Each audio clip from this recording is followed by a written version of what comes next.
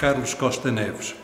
Conheço bem o Dr. Pedro Santana Lopes uh, e conheço bem uh, naquilo que ele é, efetivamente. E é uma pessoa autêntica. E eu valorizo muito a autenticidade.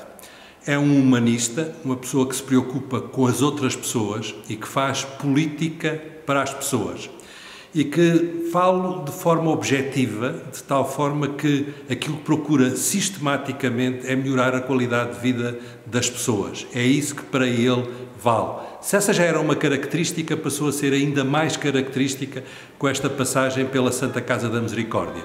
Conhece o país todo, não só as grandes cidades, conhece o país todo e os portugueses de todos os quadrantes sabe o que é a União Europeia, tem mundo, valoriza a autonomia dos Açores e da Madeira, é, portanto, uma pessoa especialmente preparada, não só pelos cargos que exerceu, como pelas suas características, para exercer as funções a que agora concorre.